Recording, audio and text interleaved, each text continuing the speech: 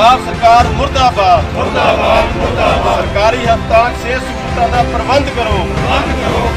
ਸਰਕਾਰੀ ਹਸਪਤਾਲਾਂ 'ਚ ਡਾਕਟਰਾਂ ਦਾ ਪ੍ਰਬੰਧ ਕਰੋ। ਬਾਕੀ ਜ਼ਿਲ੍ਹੇ ਦੇ ਹਸਪੀਟਲਾਂ ਤੋਂ ਵੀ ਉੱਪਰ ਉੱਠ ਕੇ ਇਹ ਝਾਂਡੀਆਂ ਪਿੰਡ ਦਾ ਸਰਕਾਰੀ ਹਸਪਤਾਲ ਅਕਾਲੀਆਂ ਔਰ ਕਾਂਗਰਸੀਆਂ ਵੱਲੋਂ ਬਣਾਇਆ ਹੋਇਆ ਐਸਾ ਦੁਨੀਆ ਦਾ ਅਨੋਖਾ ਹਸਪੀਟਲ ਹੈ ਜਿਹੜਾ ਬਿਨਾਂ ਕਿਸੇ ਡਾਕਟਰ ਤੋਂ ਸਿਰਫ ਇੱਕ ਫਾਰਮਾਸਿਸਟ ਦੇ ਨਾਲ ਚੱਲ ਰਿਹਾ। ਹੈ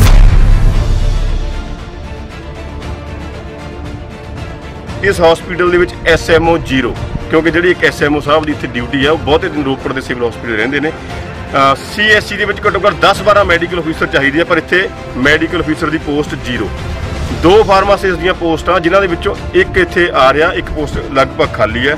ਕਲਾਸ 4 ਇੱਥੇ 0 ਸਵੀਪਰ ਇੱਥੇ 0 ਡਰਾਈਵਰ ਇੱਥੇ 0 ਫਰਨੀਚਰ ਦਾ ਸਮਾਨ 0 ਦੇ ਬਰਾਬਰ ਸਪੈਸ਼ਲਿਸਟ ਡਾਕਟਰ ਮਾਹਰ ਡਾਕਟਰ ਦੀ ਪੋਸਟ 0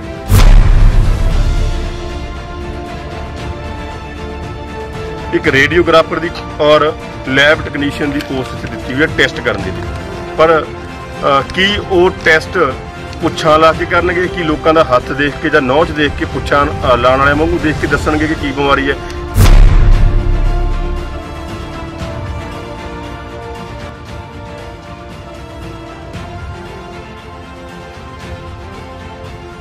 ਖੇਤਰ ਦੇ ਸਰਕਾਰੀ ਹਸਪਤਾਲ ਅਤੇ ਡਿਸਪੈਂਸਰੀਆਂ 'ਚ ਸਟਾਫ ਤੇ ਸਹੂਲਤ ਦੀ ਮੰਗ ਨੂੰ ਲੈ ਕੇ ਚਲਾਈ ਗਈ ਮੁਹਿੰਮ ਦੇ ਤਹਿਤ ਅੱਜ ਆਮ ਆਦਮੀ ਪਾਰਟੀ ਦੇ ਆਗੂ ਤੇ ਸਮਾਜਿਕ ਕਾਰਜਕਰਤਾ ਵਕੀਲ ਦਿਨੇਸ਼ ਚੱਡਾ ਨੇ ਸਾਥੀਆਂ ਸਮੇਤ ਸਰਕਾਰੀ ਹਸਪਤਾਲ ਝਾਂਡੀਆਂ ਵਿਖੇ ਪਹੁੰਚ ਕੇ ਰੋਸ ਪ੍ਰਦਰਸ਼ਨ ਕੀਤਾ। ਇਸ ਮੌਕੇ ਉਨੇ ਪਿੰਡ ਵਾਸੀਆਂ ਕੋਲੋਂ ਜਿੱਥੇ ਹਸਪਤਾਲ ਵਿੱਚ ਡਾਕਟਰਾਂ ਦੀ ਘਾਟ ਕਾਰਨ ਉਹਨਾਂ ਨੂੰ ਆ ਰਹੀਆਂ ਪਰੇਸ਼ਾਨੀਆਂ ਬਾਰੇ ਜਾਣਕਾਰੀ ਪ੍ਰਾਪਤ ਕੀਤੀ। ਉੱਥੇ ਹੀ ਪਿੰਡ ਦੇ ਲੋਕਾਂ ਨਾਲ ਮਿਲ ਕੇ ਸਰਕਾਰ ਦੇ ਖਿਲਾਫ ਜੰਮ ਕੇ ਨਾਅਰੇਬਾਜ਼ੀ ਵੀ ਕੀਤੀ ਗਈ।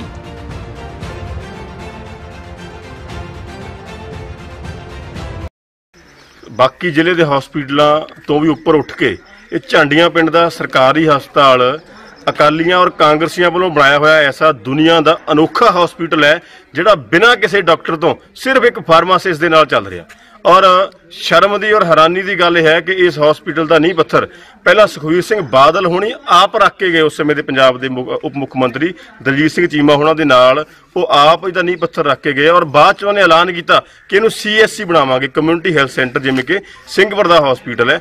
ਉਸ ਤੋਂ ਬਾਅਦ ਚ ਸਰਕਾਰ ਬਦਲ ਗਈ। ਫਿਰ ਕਾਂਗਰਸ ਦੀ ਸਰਕਾਰ ਦੇ ਵਿੱਚ ਪਿਛਲੇ ਸਾਲ ਇੱਥੇ ਪੰਜਾਬ ਵਿਧਾਨ ਸਭਾ ਦੇ ਸਪੀਕਰ ਰਾਣਾ ਕਮਰਪਾਲ ਸਿੰਘ, ਪੰਜਾਬ ਦੇ ਸਿਹਤ ਮੰਤਰੀ ਬਲਵੀਰ ਸਿੰਘ ਸਿੱਧੂ ਔਰ ਪੰਜਾਬ ਯੂਥ ਕਾਂਗਰਸ ਦੇ ਪ੍ਰਧਾਨ ਬਰਿੰਦਰ ਢਿੱਲੋਂ ਖੁਦ ਆ ਕੇ ਐਲਾਨ ਕਰਕੇ ਗਏ ਕਿ ਅਸੀਂ ਹੁਣ ਇਸ ਹਸਪੀਟਲ ਦੇ ਵਿੱਚ ਸਹੂਲਤਾਂ ਪੂਰੀਆਂ ਕਰਾਂਗੇ।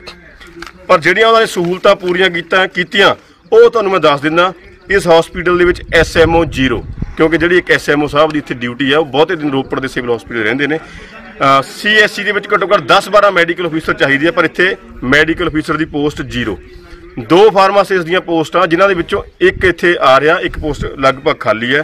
ਕਲਾਸ 4 ਇੱਥੇ 0 ਸਵੀਪਰ ਇੱਥੇ 0 ਡਰਾਈਵਰ ਇੱਥੇ 0 ਫਰਨੀਚਰ ਦਾ ਸਮਾਨ 0 ਦੇ ਬਰਾਬਰ, ਸਪੈਸ਼ਲਿਸਟ ਡਾਕਟਰ ਮਾਹਰ ਡਾਕਟਰ ਦੀ ਪੋਸਟ 0 ਸਟਾਫ ਨਰਸਾਂ 10-12 ਚਾਹੀਦੀਆਂ, ਸੀਐਸਸੀ ਦੇ ਵਿੱਚ ਇੱਥੇ ਸਿਰਫ ਇੱਕ ਸਟਾਫ ਨਰਸ ਦੀ ਜਿਹੜੀ ਪੋਸਟ ਹੈ। ਇਹ ਤੋਂ ਵੀ ਜ਼ਿਆਦਾ ਹੋਰ ਸ਼ਰਮ ਵਾਲੀ ਗੱਲ ਇਹ ਹੈ ਕਿ ਇੱਕ ਰੇਡੀਓਗ੍ਰਾਫਰ ਦੀ ਔਰ ਲੈਬ ਟੈਕਨੀਸ਼ੀਅਨ ਦੀ ਪੋਸਟ ਇੱਥੇ ਦਿੱਤੀ ਹੋਈ ਹੈ ਟੈਸਟ ਕਰਨ ਦੇ ਲਈ। ਪਰ ਕੀ ਉਹ ਟੈਸਟ ਪੁੱਛਾਂ ਲਾ ਕੇ ਕਰਨਗੇ? ਕਿ ਲੋਕਾਂ ਦਾ ਹੱਥ ਦੇਖ ਕੇ ਜਾਂ ਨੌਚ ਦੇਖ ਕੇ ਪੁੱਛਾਂ ਅ, ਲਾਉਣ ਵਾਲਿਆਂ ਵਾਂਗੂ ਦੇਖ ਕੇ ਦੱਸਣਗੇ ਕਿ ਕੀ ਬਿਮਾਰੀ ਹੈ? ਕਿਉਂਕਿ ਉਹਨਾਂ ਨੂੰ ਟੈਸਟ ਕਰਨ ਦੇ ਲਈ ਇੱਥੇ ਕੋਈ ਮਸ਼ੀਨ ਤਾਂ ਦਿੱਤੀ ਨਹੀਂ ਗਈ ਨਾ ਇੱਥੇ ਐਕਸ-ਰੇ ਮਸ਼ੀਨ ਹੈ ਹੋਰ ਤਾਂ ਹੋਰ ਸ਼ੂਗਰ ਦਾ ਟੈਸਟ ਜਿਹੜਾ ਉਹ ਇੱਥੇ ਨਹੀਂ ਹੁੰਦਾ। ਇਹੋ ਜਿਹੇ ਸੁਖਵੀਰ ਸਿੰਘ ਬਾਦਲ ਹੋਣੀ ਔਰ ਬਲਵੀਰ ਸਿੰਘ ਸਿੱਧੂ ਹੋਣੀ ਬਰਿੰਦਰ ਢਿੱਲੋਂ ਹੋਣੀ ਰਾਣਾ ਕੇਪੀ ਸਿੰਘ ਹੋਣੀ ਇਹੋ ਜਿਹਾ ਹਸਪੀਟਲ ਬਣਾਇਆ ਗਿਆ ਇੱਥੇ। ਜੇ ਕਿਸੇ ਨੇ ਡਰਾਈਵਿੰਗ ਟੈਸਟ ਵਾਸਤੇ ਮੈਡੀਕਲ ਕਰਾਉਣਾ ਉਹ ਨਹੀਂ ਇੱਥੇ ਹੋ ਸਕਦਾ। ਇੱਥੇ ਹੀ ਬਸ ਨਹੀਂ ਨਾ ਲੀਡਰਾਂ ਨੇ ਇਹ ਵੀ ਸ਼ਰਮ ਨਹੀਂ ਕੀਤੀ। ਕਿ ਇਸ ਹਸਪੀਟਲ ਦਾ ਨਾਮ ਦੇ ਵਿੱਚ ਉਹਨਾਂ ਨੇ ਨੀਂਹ ਪੱਥਰ ਦੇ ਉੱਪਰ ਨਾ- ਜਿਹੜਾ ਮਹਾਨ ਧਾਰਮਿਕ, ਸਤਿਕਾਰਿਤ ਧਾਰਮਿਕ ਸ਼ਖਸੀਅਤ ਵਿਧਾਨ ਆਚਾਰਿਆ ਸਵਾਮੀ ਚੇਤਨਾਨੰਦ ਜੀ ਭੂਰੀ ਵਾਲਿਆਂ ਦੇ, ਦਾ ਨਾਮ ਵਿੱਚ ਲਿਖਿਆ ਹੋਇਆ। ਉਹਨਾਂ ਦੀ ਅਗਵਾਈ 'ਚ ਉਹਨਾਂ ਨੇ ਇਹ ਹਸਪੀਟਲ ਬਣਾਉਣ ਦਾ ਐਲਾਨ ਜਿਹੜਾ ਕੀਤਾ ਸੀ। ਉਹਨਾਂ ਦੇ ਨਾਮ ਦੀ ਛਤਰ ਛਾਇਆ ਦੇ ਵਿੱਚ ਘੱਟੋ ਘੱਟ ਯਾਰ ਜੇ ਤੁਸੀਂ ਲੋਕਾਂ ਨਾਲ ਧੋਖਾ ਕਰਨਾ, ਝੂਠ ਬੋਲਣਾ ਤਾਂ ਉਸ ਝੂਠ ਦੇ ਵਿੱਚ ਧਾਰਮਿਕ ਸ਼ਖਸੀਅਤਾਂ ਦੇ ਨਾਮ ਨੂੰ ਤਾਂ ਲੈ ਕੇ ਆਓ। ਧਾਰਮਿਕ ਸ਼ਖਸੀਅਤਾਂ ਦਾ ਨਾਮ ਤਾਂ ਲੈ ਕੇ ਆਓ। ਜੇ ਤੁਸੀਂ ਉਹਨਾਂ ਦੇ ਸਤਿਕਾਰ ਨੂੰ ਬਹਾਲ ਰੱਖ ਸਕਦੇ ਆ, ਜੇਕਰ ਉਹਨਾਂ ਦੇ ਨਾਮ ਦੇ ਉੱਪਰ ਕਹੇ ਹੋਏ ਬੋਲ ਜਿਹੜੇ ਨਿਭਾ ਸਕਦੇ ਆ। ਜਿਹੜੇ ਇਲਾਕੇ ਦੇ ਲੋਕ, ਜ਼ਿਲ੍ਹੇ ਦੇ ਲੋਕ ਇਕੱਠੇ ਹੋ ਕੇ ਸਿਹਤ ਸਹੂਲਤਾਂ ਦੇ ਲਈ ਇਹਨਾਂ ਬੇਈਮਾਨ ਲੀਡਰਾਂ ਨੂੰ ਹੁਣ ਜਵਾਬ ਦੇ ਬਣਾਵਾਂਗੇ, ਜਿਸ ਲੜੀ ਦੇ ਤਹਿਤ ਅੱਜ ਇਸ ਹਸਪੀਟਲ ਦੇ ਵਿੱਚ ਇਹ ਪ੍ਰੋਟੈਸਟ ਕੀਤਾ। ਸਾਡੇ ਹਸਪੀਟਲ ਦੇ ਵਿੱਚ, ਇੱਥੇ ਜੋ ਹਸਪੀਟਲ ਇਹ ਖੁੱਲਿਆ ਹੈ, ਉਹ ਬਿਲਕੁਲ ਇਹਨਾਂ ਦਾ ਜਿਹੜਾ ਜਿਸ ਤਰ੍ਹਾਂ ਇਹ ਖੋਲਿਆ ਹੈ, ਉਹ ਇੱਥੇ ਪੂਰੀਆਂ ਜਿਹੜੀਆਂ ਫੈਸਿਲਿਟੀਆਂ ਨਹੀਂ ਮਿਲੀਆਂ। ਕਿਰਪਾ ਕਰਕੇ ਸਾਨੂੰ ਇਹੀ ਬੇਨਤੀ ਪੰਜਾਬ ਸਰਕਾਰ ਤੋਂ, ਜੇ ਤੁਸੀਂ ਹਸਪੀਟਲ ਖੋਲਿਆ ਤਾਂ ਕਮ ਸੇ ਕਮ ਇੱਥੇ ਡਾਕਟਰ ਹੋਣੇ ਚਾਹੀਦੇ ਹੈ, ਦਵਾਈ ਹੋਣੀ ਚਾਹੀਦੀ ਹੈ, ਟੈਸਟ ਹੋਣੇ ਚਾਹੀਦੇ ਹੈ। ਇਹ ਸਾਨੂੰ ਬਹੁਤ ਜ਼ਰੂਰੀ ਹੈ। ਕੋਵਿਡ ਦੀ ਮਹਾਮਾਰੀ ਦੇ ਵਿੱਚ ਜੋ ਇਹ ਸਾਨੂੰ ਕੋਈ ਵੀ ਸਹੂਲਤ ਜਿਹੜੀ ਹੈ, ਉਹ ਬਿਲਕੁਲ ਨਹੀਂ ਮਿਲੀ ਹੈ। ਇਹੀ ਮੰਗ ਹੈ ਜਿਹੜਾ ਜੋ ਹਸਪੀਟਲ ਹੈ ਇਹ ਜੋ ਇਹਨਾਂ ਨੇ ਕਰਿਆ ਵੀ ਜਿਹੜਾ ਸੀਐਚ ਸੀਐਚ ਬਣਾਉਣਾ ਹੈ, ਉਹ ਇਹਨਾਂ ਨੂੰ ਅਪਗ੍ਰੇਡ ਕੀਤਾ ਜਾਵੇ ਤੇ ਜੇ ਜਾਂ ਤਿੱਕਣ ਜੋ ਵੀ ਹੈ, ਇਸ ਹਸਪੀਟਲ ਦੇ ਵਿੱਚ ਉਹ ਡਾਕਟਰ ਅਵੇਲੇਬਲ ਹੋਣੇ ਚਾਹੀਦੇ।